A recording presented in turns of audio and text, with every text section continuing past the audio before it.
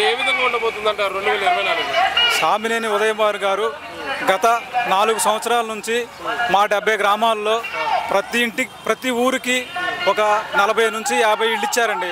ప్రతి ఊరికి రెండు సెంట్లు చోటు అందరికీ ఇళ్ళు ఇచ్చారు. భానుగారిని అయితే ఎవరూ మర్చిపోరు. అదేవిధంగా మన జగన్మోహన్ రెడ్డి గారు ఇచ్చిన పది పథకము ప్రతి ఇంటికి వచ్చి అమ్మ నీకు వచ్చిందా రాలేదా? అని అడిగి అందరినీ అడిగారు. ప్రతి ఒక్కరిని అడిగి తెలుసుకున్నారు. ఎవరు మాకు ఇది రాలేదు అది రాలేదని ఎవరు అడిగిన లేరు.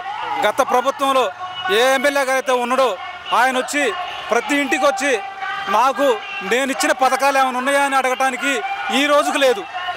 గత ఐదు సంవత్సరాల్లో నేను చేసిన పని ఎక్కడైనా ఉందని వాళ్ళు ఈసారి జగ్గయ్యపేటలో టీడీపీ జెండా బలంగా ఎగిరిద్దని చెప్తున్నారు కదా బలంగా చెప్పుకోవచ్చండి.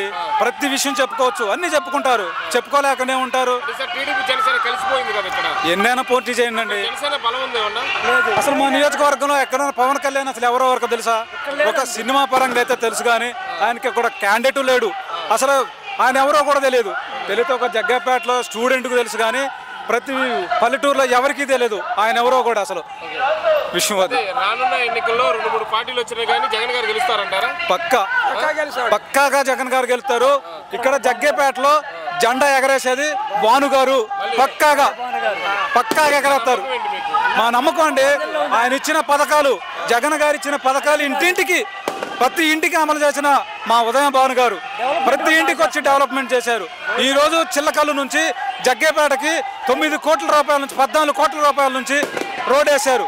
ఏ నాయకుడైనా గత ఐదు పది సంవత్సరాల్లో ఎప్పుడైనా వేసారేమో చూపించమనండి ఒక పన్నెండు పన్నెండు అడుగుల రోడ్లో ప్రతి అటు ఇటు గుద్దుకుంటూ పోకుంటూ వచ్చినాయి. ఇవాళ పద్నాలుగు కోట్లు వేసి రోడ్ వేశారు.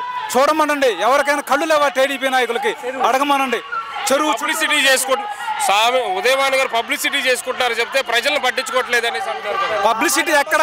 ఒకసారి వచ్చి మీ మీడియా వాళ్ళు చూడండి పబ్లిసిటీ ఎక్కడో? మీ మీడియా చూడండి ఎక్కడన్నా పబ్లిసిటీ ఉందా? ఆ రోడ్ వేసారా లేదా? చెరువులో నుంచి బస్టాండ్లోకి బస్ స్టాండ్లోకి రోడ్ ఎత్తనారా లేదా? చూడండి ప్రతిదీ పబ్లిసిటీ ఎక్కడ అనేది తెలిసింది.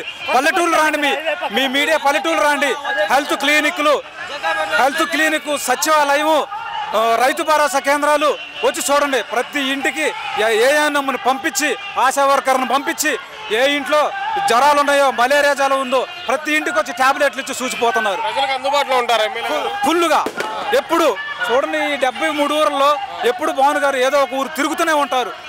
ఇవాళ భానుగారు కావాలని ఇంటికి వస్తే ఎక్కడున్నారంటే పలానా ఊర్లో ఉన్నారమ్మా అని చెబుతారు. అక్కడికి పోండి అమ్మా కలవండి అంటారు.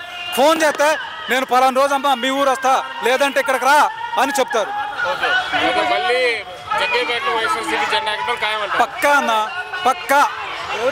పక్కా. ఎవరిని అడిగా చెప్తారు. ఏ మహిళను అడిగినా చెప్పిద్ది. ఏ ముసలివాడిని అడిగినా చెబుతారు.